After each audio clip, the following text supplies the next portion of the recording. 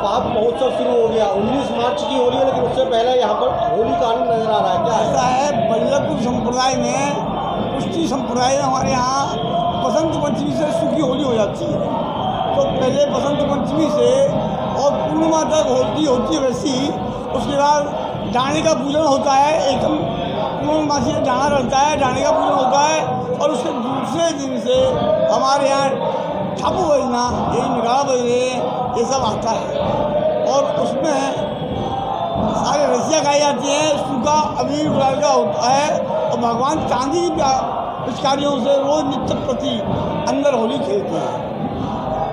होली का ये है फागुनर होली होती है। यहाँ तो जैसे यहाँ तो जैसे कहते हैं, कहावत है, सदा बसंत रहते वृंदावन निश्चिंत खेलें होली। तो यहाँ तो होली निश्चित होती है। पर भाई, हमारे यहाँ पर जो कुश्तीमार के हिसाब से वो चालीस दिन की होली होती है, उसमें हमारे यहाँ अष्टमी से रंग की होली होती है।